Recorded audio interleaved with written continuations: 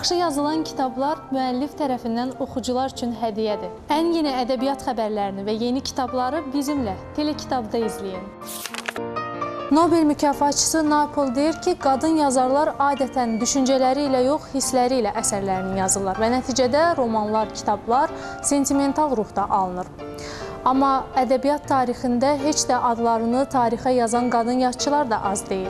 Gəlin onlar haqqında süjetimizi izləyək. Ədəbiyyat sahəsində yazıçıların qadın-kişi kateqoriyalarına bölünməsi cəmiyyətdə daima mübahisəli polemikalara yol açıb. Bu mübahisədə qadın ədəbiyyatının tərəfdarları əksər hallarda neqativ ittihamlarla üz-üzə qalırlar. Belə ki, Nobel mükafatlı yazar Naples deyir ki, qadın yazarlar dünyaya dar prizmadan yanaşır və təəssüf ki, feminizm çərçivəsindən kənara çıxa bilmirlər. Qadın yazarlara belə yanaşma onların kişi ədəbiyyatından törəmə kimi qəbul edilməsi edilməsi cəmiyyətdə heç də bir mənalı qəbul edilmir.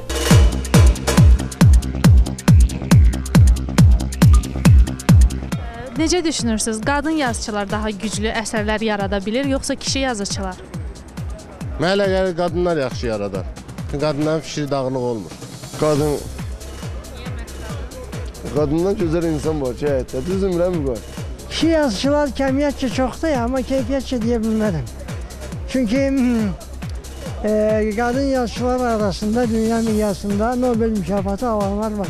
Yəqin kişi yazıçılar olur. Çünki kişi yazıçıların daha çox e, qadın yazıçılara nisbətən Həmçinin onlar yəqin ki, daha çox yazarlar. Mənim fikrimcə kişi yazıçılar. Ne, hərə necə görür, hansı məsafədən, hansı psixoloji durumla görürsə həyat hadisələrini o gözə təsvirə çalışır. Əsas burada yəqin ki, meyar istedad.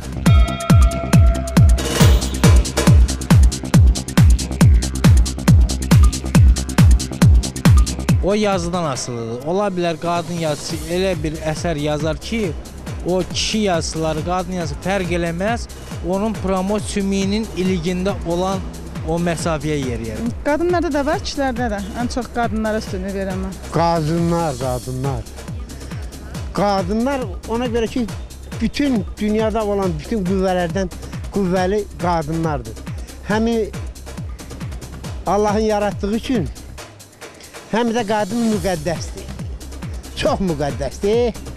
Dünyalar qədər müqəddəsdir. Vətəndən də, hər bir şeydən də əziz anadır. Kişi.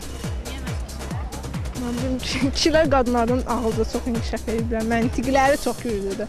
Qadın daha ağıllıdır, amma kişi məntiqi güclü inkişaf edib ona görə. Məncə kişi yazıçılar. Ona görə ki, e, kişilər e, belə deyək də, cəmiyyətdə daha üstün mövqeyə malikdirlər. Onun üçün o səbəbdən.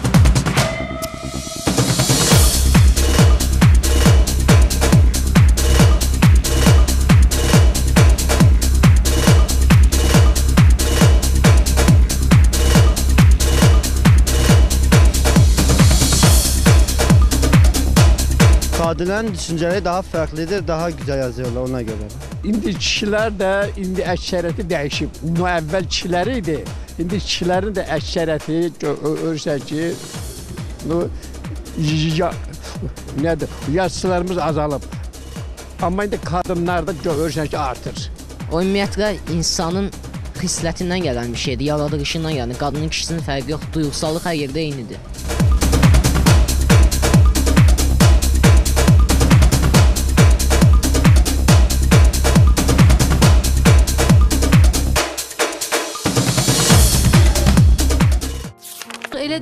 Şöhrətli yazıçılar var ki, onların yaradıcılığı əyani şəkildə qadın yazıçılarının tarixə mövcudluğunu sübut edir və onların əsərləri bütün gələcək nəsillər üçün ənənəyə çevrilir. 15-ci əsr Azərbaycan poeziyasında Məhsəti Gəncəvi kimi azad qadın şairənin olması da buna əyani sübutdur.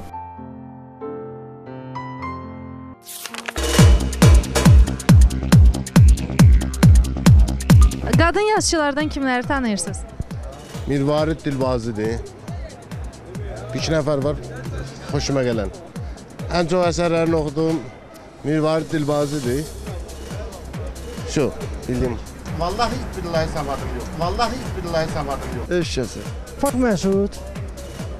Şairler tanıyın. Mirvarit Dilbazi, Nigar Beyliği, Medine Gülgün.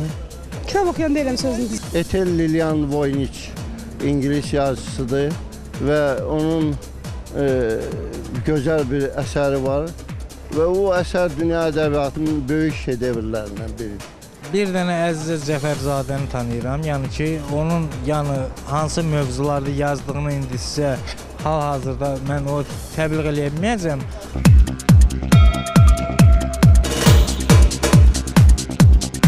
Tanıdıqlarım var. Yadıma çıxar. Anarın anasından nə idi? Hə, Rəfibəylini, onu oxumuşam. Çox oxumuşam özdə. Gözəl yazısıdır.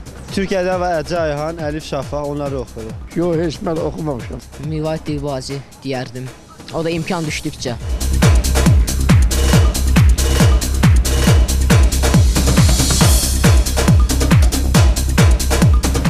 İngilis ədəbiyyatı öz qadın romanistləri Fanny Burney, Mary Shelley, Bronte bacıları, Elizabeth Gaskell, Virginia Woolf, Muriel Spark, Iris Murdoch və başqa yazıçıları ilə məşhurdur. İngilis ədəbiyyatında qadın qələminin gözəl nümunələrini yaradan istedadlı yazıçılardan biri də Virginia Woolfdur. 20-ci əsrin əvvəlində yaşayan məşhur yazıçı təkcə bədii əsərlər yox, həm də esse, resenziyalar, ədəbiyyat, incəsənət, qadın problemləri haqqında məqalələr yazıb. Öz otağım essesində Woolf qadınlar və ədəbiyyat haqqında düşüncələrini verir. Woolfun fikrinə görə qadın və ədəbiyyat hadisəsini müzakirə edərkən birinci növbədə qadının kişi cəmiyyətində sosial vəziyyətindən söhbət getməlidir. Virginia Woolf yazırdı: "Əgər bizim analarımız öz vaxtlarında pul qazanmaq kimi böyük sənəti öyrənsəydilər və sonra bunu atalar öz oğullarına etdikləri kimi öz qızlarına vəsiyyət edib, onlara dərəcələr və təqaüdlər ayırsaydılar, gələcək bizim üçün də yüksək maaşlı bir vəzifənin kölgəsində etibarlı və buludsuz olardı." Qadın yazıçının münasibəti hadisələrə tam özünə məxsusdur. Məsələn, Virginia Woolfun yaradıcılığı bu çox dərin bir yaradıcılıqdır. Çox elə emosionallığın özü, amma fikir emosionallığı. Bax bunun özü hesab edirəm ki, qadın yazıçılarda özünə məxsusluq var. 19-cu əsrin əvvəlində Rusiyada çap olunan Puşkin dövrünün yazıçı qadınları 5 tarix ədəbi oçerklər kitabı maraqlıdır. Bu zaman siyahıda artıq bir çox məşhur qadın imzaları var idi. Onlar arasında Yelizaveta Kulman, Aleksandra İşimova, Mariya Svitayeva, Anna Axmatova və başqalarının adlarını çəkmək olar. Qeyd etmək lazımdır ki, 18-ci əsrin sonunda fransız qadın birlikləri, 19-cu əsrin əvvəlində Rusiyada qadınların rəhbərlik etdiyi ədəbi salonlar fəaliyyət göstərirdi. Bu tipli məclisə Azərbaycanda 19-cu əsrdə Şuşa şəhərində məşhur Azərbaycan şairəsi Xurşudbanu Natəvan rəhbərlik edirdi. 19-cu əsr Azərbaycan ədəbiyyatında iz buraxan bir sıra qadın şairi vardır. Bu Cənubi Azərbaycandan olan Heyran xanım, Aşıq Pəri, Fatma xanım Kəminə və başqalarıdır. Yaradıcılıq avaralığı və boş vaxtı sevir. Qadınlar daha məsuliyyətlidirlər və yaradıcılıq məsuliyyəti ilə o e, insani məsuliyyət tam daban-dabana ziddir. E, indi də elə qadınlar var ki, yeməklərin çöldə yeyirlər, kafedə yeyirlər. Səhər durub ərlərinə kömək eləmələr, yaxud 3 aylıq ailə qururlar, sonra boşanırlar. Onların yaradıcılığı yaxşı alınır. Mən elə bir məsələn ailəsinə sadiq və ərinin başına dolanan qadının yaxşı yaz yazmanı nə eşitmişəm, nə görmüşəm, nə də inanıram. 20-ci əsrin 30-cu illərində ədəbiyyata özlərini qadın lirikasının gözəl nümunələrini yaradan şairə və tərcüməçi kimi göstərən Mirvarid Dilbazi və Nigar Rəfibəyli gəldilər. Rus poeziyasından bir çox əsər onlar tərəfindən tərcümə olunub. Mirvarid Dilbazi bizim səsimiz ilk şeir kitabında qadın azadlığı problemini qaldırıb. Dünya, eləcə də Azərbaycan ədəbiyyatında qadın yazarları kəmiyyətcə az olsalar da, keyfiyyətcə öz sözlərini deyə biliblər. Yaddaş ləpirləri, Demokratiya yazıları və Ruhlar şəhəri kitabının müəllifi Vahid Qazi bu dəfə yeni kitabı ilə Çamayra, Kuba dəftəri ilə oxucularının görüşünə gəldi. Bu həftə növbəti kitab təqdimatı ilə yadda qaldı. Publisist, yazar Vahid Qazinin Camayra Kuba dəftəri kitabının təqdimat və imza günü keçirildi.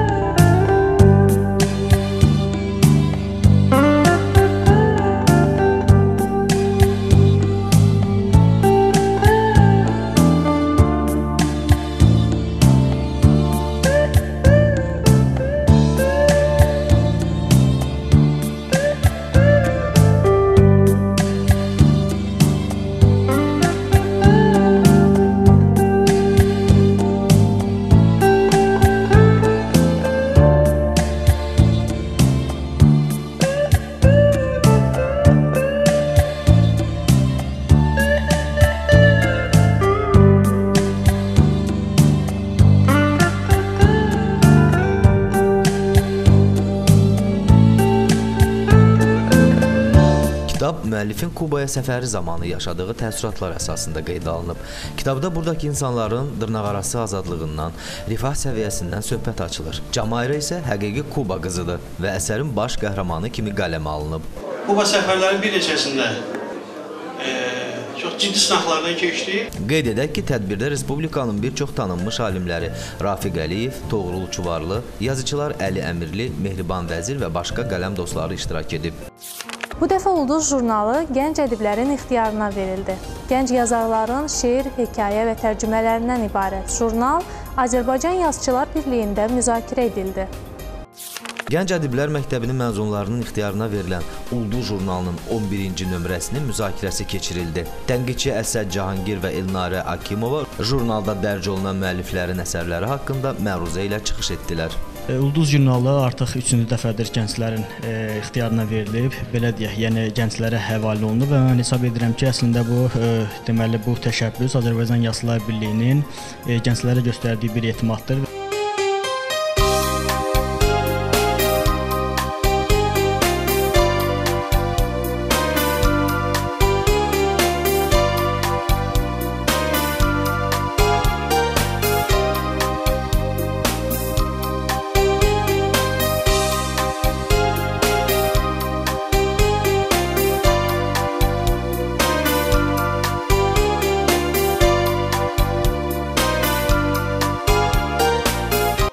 Ki, Ulduzun bu dəfəki sayında Alik Əlioğlunun, Aysel Əlizadənin, Rəbiqənin, Günel Şamil qızının, Feyziyyənin, Vüsal Nurinin və başqa gənclərin şeirləri, Cavid Zeynalının, Günel Eminlinin, Sahilə İbrahimovanın, Nahidin hekayələri, Yeganə Cansailin, Ülviyyə Heydərovanın araşdırma yazıları yer alıb. Dodaqlarımda təbəssüm, bəbəklərimdə ümid və qürur. İçimdə ağlamaq ehtiyacı. Yol gedirəm, yorulana dək. Nurəngiz günün kövrək qərbinin misraları oxuculara tanışdı. Xocalı simfoniyası Tanrı bəşər övladıdır. Ağ çiçəklərim.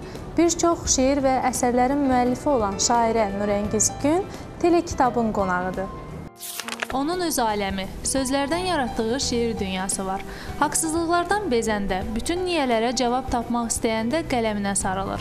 Nurəngiz Gün ürəyindəki qəmi, kədəri, sevinci yalnız ağ kağızlar üzərində danışdıranda rahatlıq tapır. Bəlkə də mən bələkdən şair idim. Bu biraz mübaliğəlidir. Bəlkə də mən e, lap o ifatda oynayan çağlarımdan şair idim. Bəlkə də küncdə, bir küncdə oturub evimizin qulluqçu deyirik də, qulluqçusu üçün onu ağlayırdım ki, onun kədəri, o çox iş görür, nədir? Heç kimə demirəm, ürək belə titrək idi, başa düşürsünüz. Nurəngiz Gün yaradıcılığından Tanrı bəşər övladıdır. Günəşə dua, ağ qanadlar, yol gedirəm. Həmin o ağ çiçəklərim və digər kitabları əsas yer tutur. Mənim içim ağrıyır, hansı ağrısa, burada sinəmdə o qədər devran edir, qövr edir, öldürür məni. Nə o düzülür kağızlara. Axı mənim ömrüm kifayət qədər zəngin ömür olub.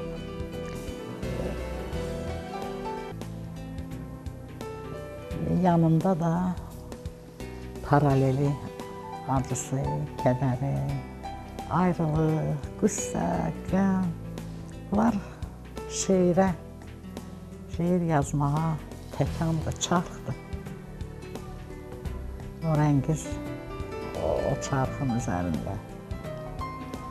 Deyək ki, oturum, getdi və yazıram. Bilmirəm, nə ağrıdırsa, nə düşündürürsə onu yazıram. Amma onu bilirəm ki, gözələm. Mən həmişə haqqı yazmışam.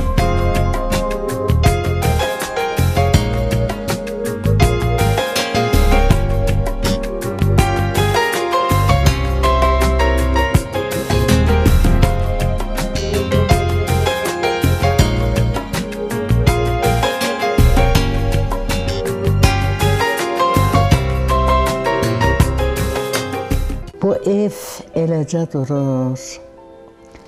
Bu evin bir qarış boyu, yarım qarış eni var. Elə tənhadır bu ev. Nə gələni, nə gedəni var. Bu ev eləcə durur. Divarında sözlər göyərir. Tavanında qara gözlər. Döşəmədə 45 nömrəli ləpir. Elə belə ləngər döyür. Havasından da bu evin intizar adlı zəhirmar sallanır. Heç bilmirəm nə istəyir, nə deyir, nə qandırır, nə qanır.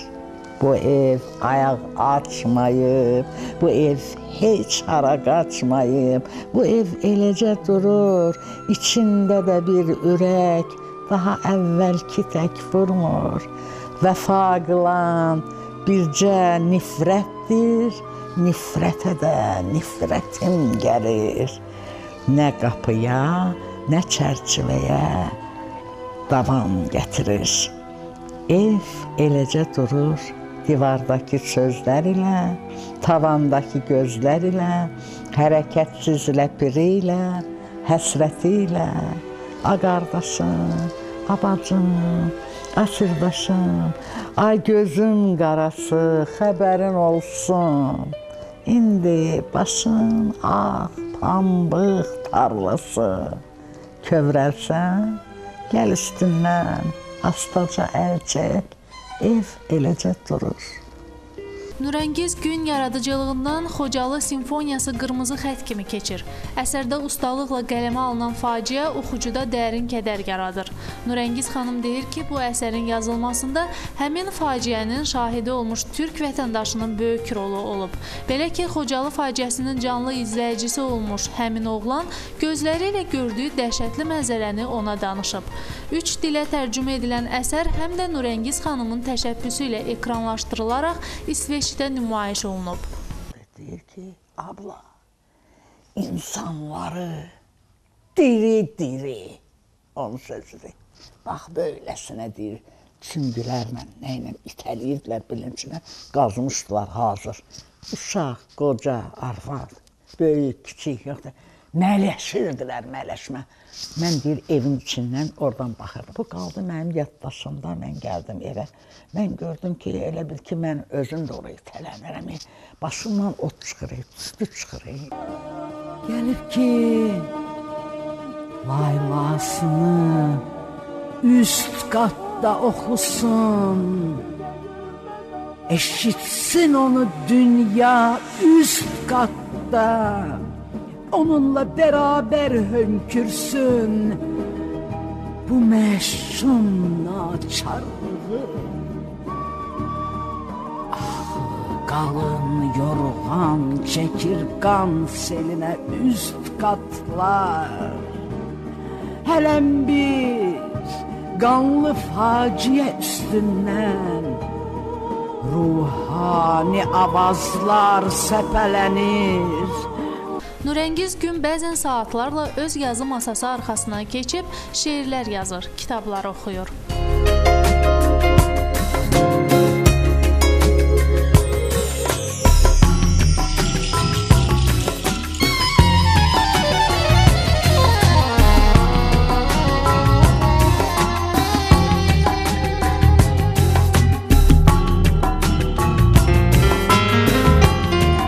Kitablar nə bilim həyatımdır. Mən kitabsız, jurnalsız, qəzetsiz nəfəs ala bilmərəm. Bu yaşda da. Lap indi, indi artıq eynək taxıram. Lap üçünü taxsam bir-birinin üstündən yenə ehtiyac duyacağam maraqlı, yaxşı yazılara.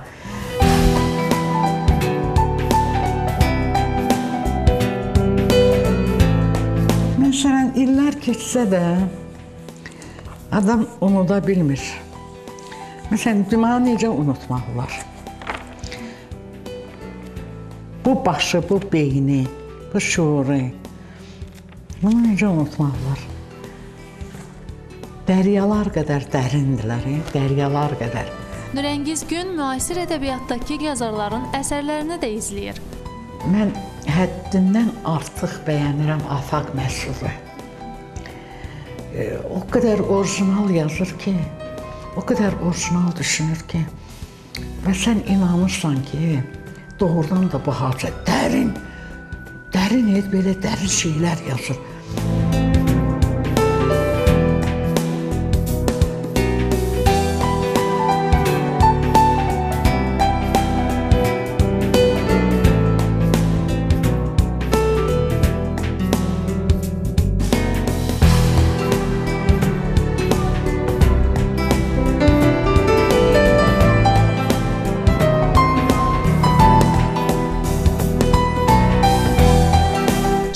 Şeirlərində təbiət, sevgi, humanizm tərənnüm edilir. Təbiət mövzusuna həsr etdiyi şeirlər də təsadüfi deyil. Bu ceyranın şəklini e, Zaləm mənim üçün hə, bilir çox sevirəm ceyranları, hədiyyə gətirib və mən bunu həmişə masamın üstünə qoyuram. Baxıram ona söhbət eləyirəm. O ə, ziyansız məxluqlardılar.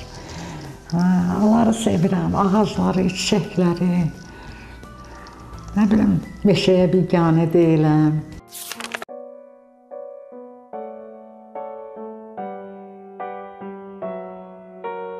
Ört üstümü, ört meşəm, salam meşəm, mənəm də sənin o vələs qızın gəlmişəm. Birazca utanıram, naxələflik eləmişəm. Bilməmişəm, bilməmişəm mən səni Cəngi nəhəng bir şəhərə dəyişmişəm. Adamlar ucdan tutma məşğul imiş. Nələr gördüm, nələr gördüm. O adamlar içində qəribmişəm, meşəm.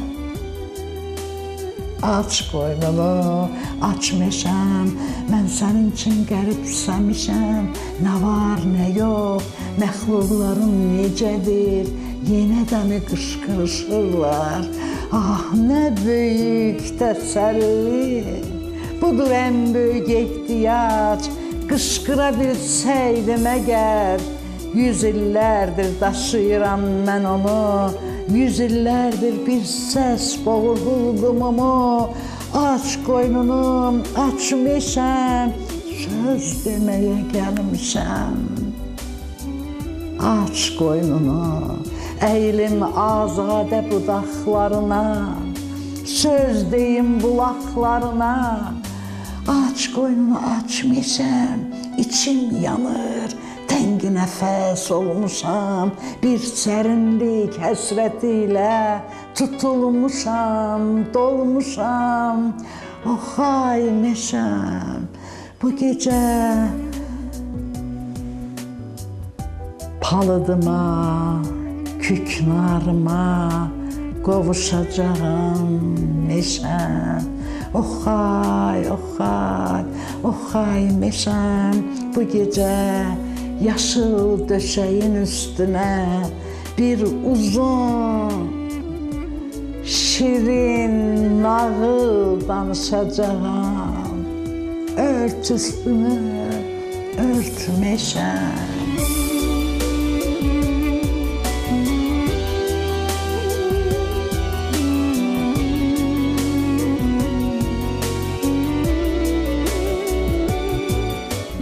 Nurəngiz gün şairə olmağında həm də atasına borcludur deyir. O atasına həsr etdiyi şeirdən kiçik parçanı da tamaşaçılar üçün səsləndirdi.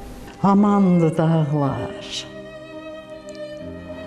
Bir səhər günəş doğarkən məhəllə diksindi. Ölmüşdü hündür kişi, nəhəng ağac ölümünə bənzədi. Xudadad kişinin səssiz, sözsüz ölümü. Aman cüda, dağların üşüyəcək. Ərdəbilin, ər dağların bu gecə duyuq düşəcək. Əcəm oğlu canım atam, nə gözəl deyərdin bu ağrını sən. Nağlım, bayatım, qeyrətim, qanım atam, bu dağlar sənə ağlayır, hərlənib gəlibdir. Qolların niyə süstüşüb, qucaqlasana onları, ay ata. Dağlar sənə ağ dumandan örtük gətirib, gətirib gəlib, bu da vüsal. Örtüyünü yavaş sərin, könlü didilər. Aman, aman, aman dağlar, gözlərinə əl çəkməyin. Kipriklər də donub qalan. Sizə dair böyük həsrət incilərdir, incilər.